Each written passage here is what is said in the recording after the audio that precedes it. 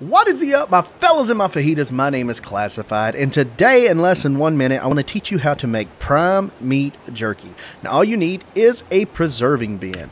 Inside the preserving bin, you want to put a piece of cooked prime meat, or you can use a cooked prime fish meat, but I mean, who's got time for that? Cooked prime meat, a piece of oil, and three spark powder. Now, you'll also need, got to remember, is the preserving bin runs off spark powder, so go ahead and throw some extra ones in there because this is going to take 36 minutes for this, this to craft this into prime meat jerky. So now that we have that in there, let's just hang around and wait on it. And there we go. After about 36 minutes of waiting, we now have a piece of prime meat jerky. Now this does, is it's better food. It's better for you. It lasts longer, and it's it's used in some recipes. So you might want to go ahead and get started on it because this is used for kibble. So it takes a long time to craft. So might want to go ahead and jump on it right at first. But anyway, guys, I hope this helped you. If it did, don't forget to like the video, subscribe to the channel if you are new, and we'll see you in the next one.